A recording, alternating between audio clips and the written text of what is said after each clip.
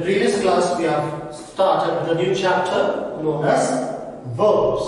So, what are verbs? Any word in a sentence that denotes or that tells us about some action that is being taken place are known as verbs. That means verbs are those words that tell us about some action being done. So that we have already seen in the previous class. And we also saw the two types of verbs. What are they? Transitive and intransitive verbs. Verbs we have seen two of two types. Before that we saw about the direct object and the indirect object of the verb in a given sentence. So there are two types of verbs. What are they? Transitive and intransitive. How do you find out whether the verb is transitive or intransitive? Simple thing, you need to question what to the given verb in a particular sentence. And if you get an answer as an object, okay, that becomes a call transitive verb. Transitive verbs are those verbs that requires an object to complete the sentence or to complete the meaning or to have full complete sense. On the other hand, intransitive verbs are those verbs which does not require an object. So, we have done all this in the previous class and I asked you to do some assignments so today we are going to do the corrections of those assignments. Hope this is clear to you all. Now here in the textbook it says number B. It's written underline the verbs in the following sentence and highlight the direct objects wherever they occur. So to find out a direct object in a particular sentence, we were supposed to ask the same question. What is the question? what. Okay? Now, let us first of all find the objects in a sentence. Sorry, the verbs in a particular sentence, in the following sentence. The first one we have, Nishan closed the window. So, which is the verb here? Verb here is closed.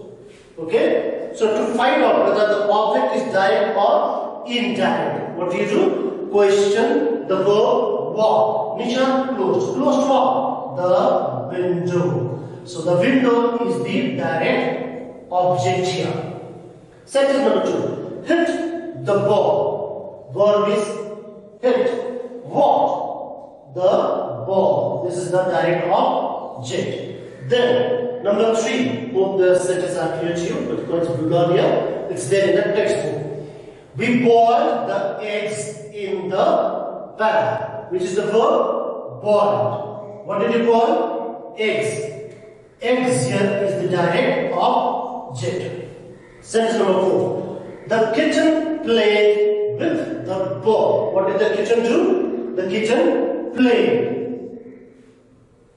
With what? Played what? The ball. The direct object. Number five. Dheeraj repaired his car. Verb is repaired. Repaired what? car. Car here is the direct object. Number six, the man lifted the lamp. The verb is lifted. Lifted what? The lamp. The lamp is the direct object. Number eight, ring the bell. Verb is ring. Ring what? The bell. The bell is the direct object. Are you getting it? The naughty boy broke the toy. The naughty boy broke. Broke what? Sorry. Broke the toy. The toy is the direct object. Number nine. The principal hoisted the flag. What did the principal do? He hoisted. Hoisted what? Flag. The flag is the direct object of the verb given. Number 10. Ruth collects rare coins. Ruth collects. Verb is collect. What does she collect? What does Ruth collect? Rare coins. This is the direct object. Got it? Now, we will go to the next assignment that was given to you.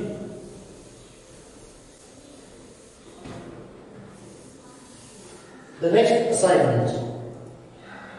Here, what is the next assignment? Underline the verbs in the following sentences. Identify whether the verb is transitive or intransitive. So how do you find out whether the verb is transitive or intransitive? We find out a given verb as transitive and intransitive by asking a direct question what to the given verb. And after questioning what to the given verb, when you get an answer, that becomes a transitive verb. Or in other words, transitive verbs are those verbs that requires an object. Let's say in the first sentence.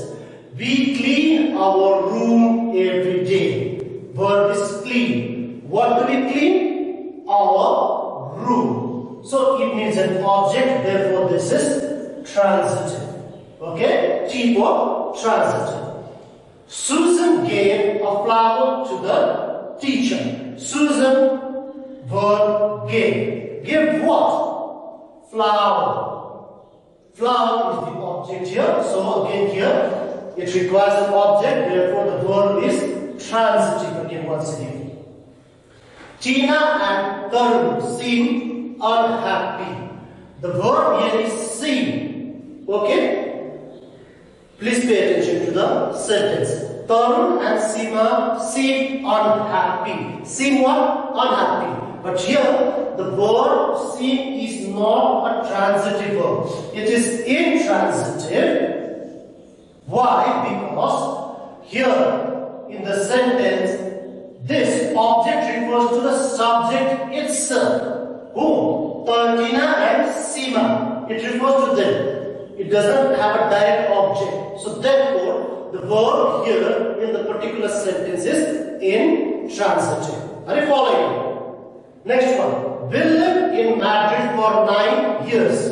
Verb is live. What? You can answer no. If you get where, you get an answer. So we cannot question where. We question what. Therefore here the verb is again intransitive. The children laughed at the joke. The children laughed. Okay? What did the children do? They laughed. Laughed what? We do not need anything. Again, here we have intransitive. Okay? My sister moved. Verb is moved. Moved what? The cupboard. The cupboard. So here we have an object, so it is transitive. Did you find? The verb is find. Find what? The house. So we have an object which requires an object. So therefore this is again a transitive.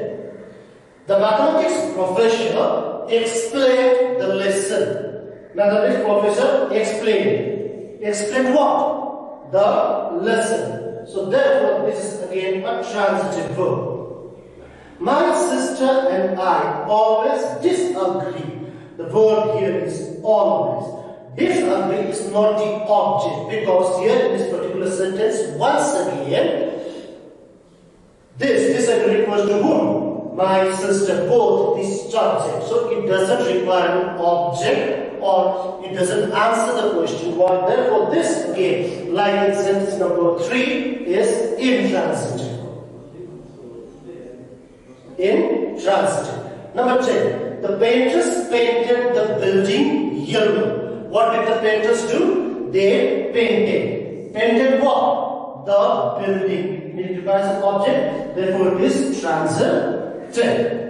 The watchman blew his whistle. What did the watchman do? Blew. Blew what? His whistle. So then we have again a transitive. So these are the answers to the questions or these are the answer what you call solutions for your answers. Please do check it out in your textbook and correct it. Now we go to the next one, the last exercise that I asked you to do in the previous class.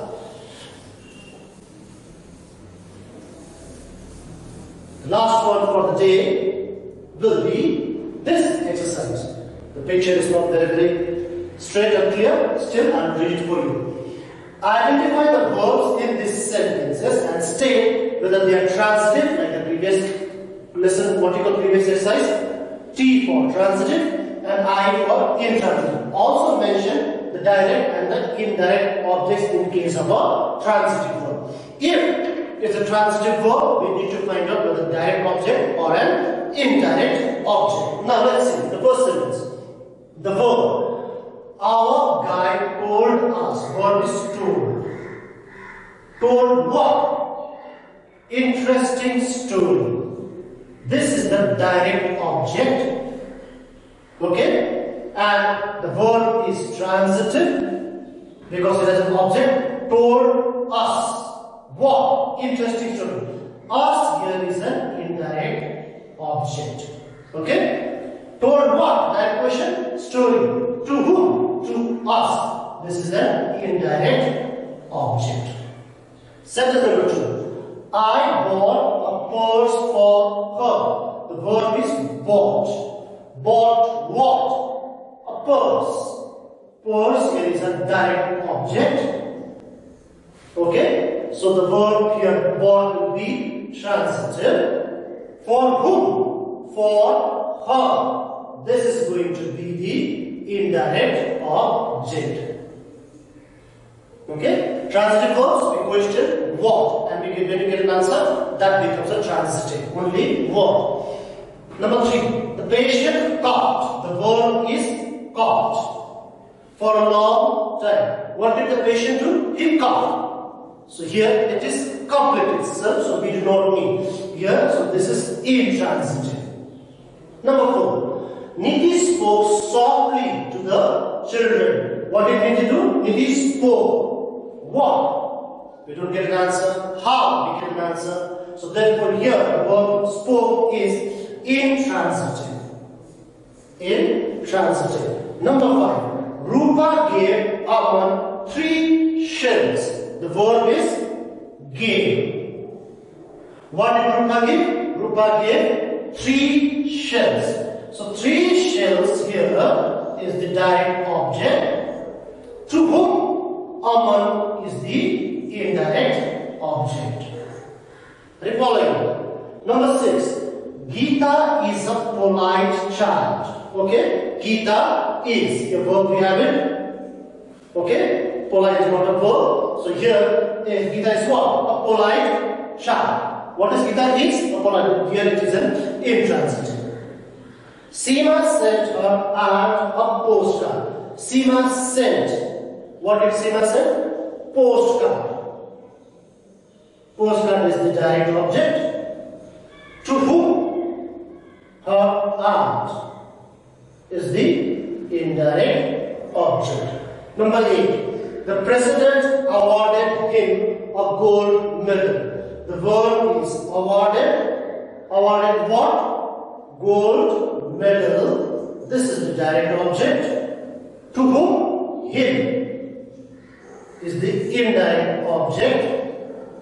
So here the verb is transitive. Number nine. Neha likes to eat chocolate. What does Neha like? What? Neha likes what? Eat chocolate. Neha likes to eat. Eat what? Chocolates. Okay, your verb can be eat also, likes also. Let's take eat. Neha likes to eat what? Verb eat chocolates. Direct object. So it is transitive. Number 10. I promised them my support. I promised verb. What? My support. Sorry. My support is the direct object. Whom? Here is the indirect object. You get me not? So, one thing that you need to know is there are two types of verbs. Before that, you need to know what verbs. Verbs are those words that denote some action. And two types of verbs, transitive and intransitive. To find out whether the verb is transitive or intransitive, we question the verb what. A verb may have a direct object and an indirect object. Especially transitive verbs have direct objects and indirect objects. To find out whether the verb is transitive or intransitive, we just need to question the verb what. And whatever answer that we get, the first answer, that is going to be direct object. Next one, for whom, how, etc. becomes an indirect object. Hope this is understood and please do your corrections in your textbook or the exercise book itself. Okay, this much for today. See you next class where we will be beginning a new chapter. So all the best. Take care.